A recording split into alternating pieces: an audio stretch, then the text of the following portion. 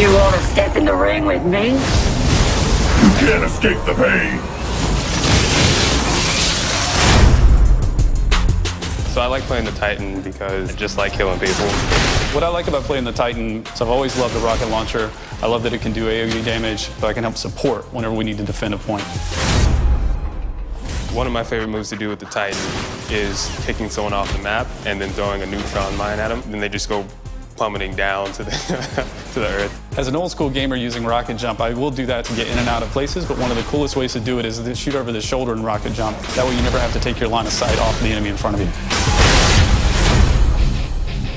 The way I support my team is I usually like to come in as one of the later people. I'll pull out the crisper and usually arcs to anyone who wasn't killed by the initial wave. So one of the things when people pick the Titan is they think that it's automatically going to be the tank.